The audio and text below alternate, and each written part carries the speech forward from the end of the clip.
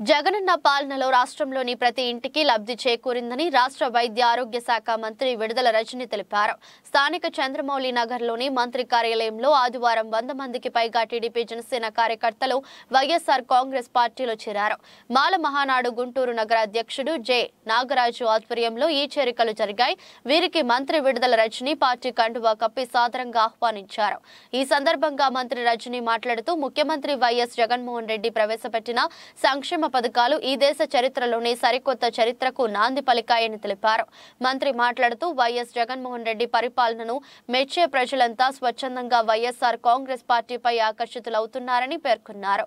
ఇతర పార్టీల నుంచి వైఎస్ఆర్ కాంగ్రెస్లోకి భారీగా చేరుతున్నారని తెలిపారు.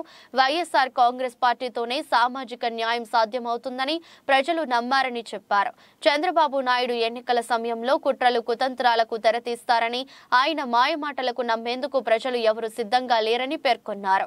అనంతరం గుంటూరు నగరం ఇరవై తొమ్మిది ముప్పై ఒకటి డివిజన్ల నుంచి టీడీపీ జనసేనకు చెందిన Srikanth Emmanuel Durga Madhu Ansar Rajesh Pavan Gopi Karimulla Narasimha G Shyam J Punnaiah Y Ravikumar K Haribabu Rahul B Shyam Jeevaratnam P Sujith Suman తదితరులు వైఎస్ఆర్ కాంగ్రెస్ పార్టీలో చేరారు.